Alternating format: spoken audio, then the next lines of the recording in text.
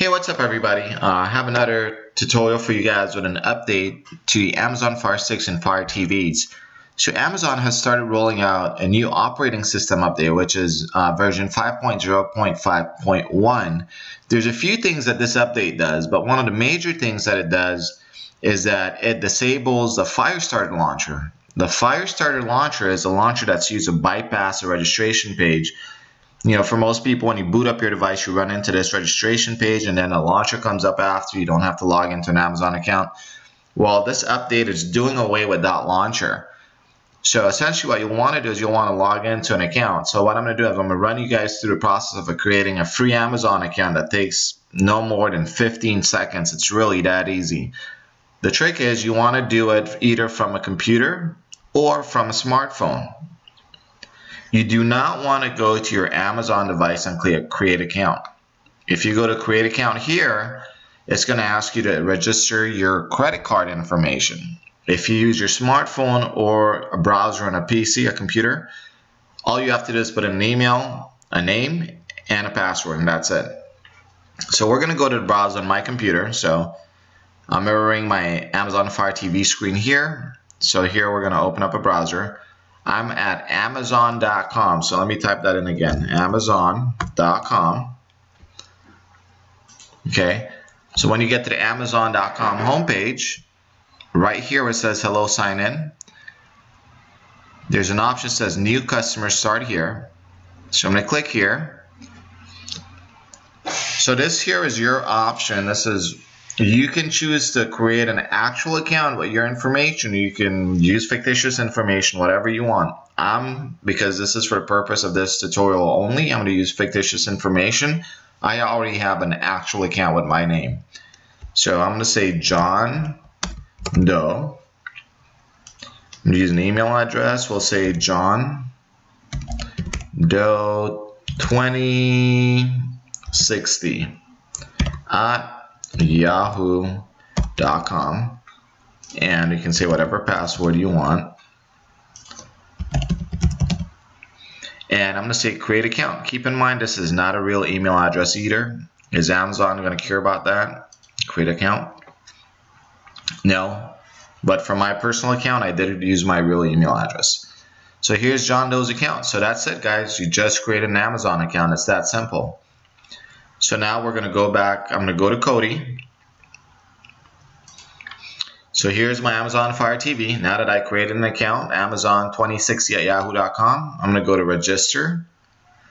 And I'm going to type it right in here, John Doe.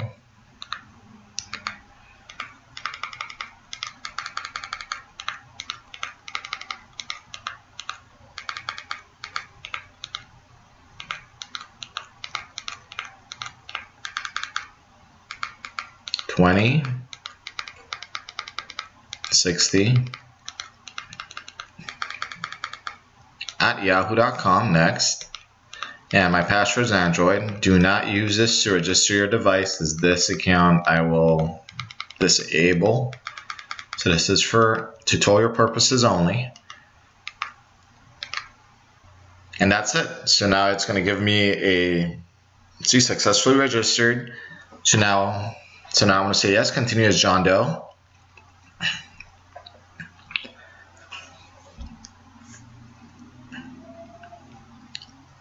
And here it is. Now I'm, you've logged into your Amazon device with the account you just created. And so here's, now I'm going to show you how you can get a Kodi shortcut right here in the home screen so you don't have to go the long way to access Kodi. So we're going to go down to settings. And we're going to go to applications. And we're going to go to manage installed applications. And we're going to go to Kodi and we're going to launch Kodi. So Kodi just opened up. Tip for everybody, I always mention this, if you're going to be moving Kodi around, for whatever reason, if you're going to disconnect the power from your device, Fire TV, Fire Stick, make sure you exit Kodi first. And you want to exit Kodi appropriately by going to the power button in the bottom left, select that, and selecting exit. So all we have to do here is open Kodi and close it. So now I'm closing Kodi. We're going to wait for that to close. Okay. So now you, hit, you can hit return on your Fire TV or Fire Stick remote to go all the way out, or you can hit the home button and it'll take you right up to the home option. So now we're home. So there's one more thing here that we need to do. Now Kodi's under the apps section now, okay? So apps. You see there's Kodi. So now I'm going to launch Kodi from here one more time. And now I'm going to close it again. So this is going to register Kodi as a recent app now. And it's going to put it right smack in the home screen.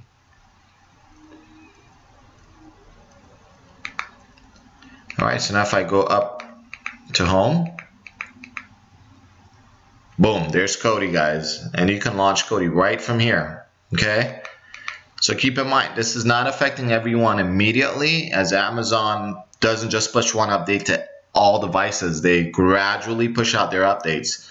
So for those of you who still have a Firestarter that's functioning on your device, as soon as that update kicks in, you're going to be introduced to the registration page and then just follow this tutorial to get your device back up and running.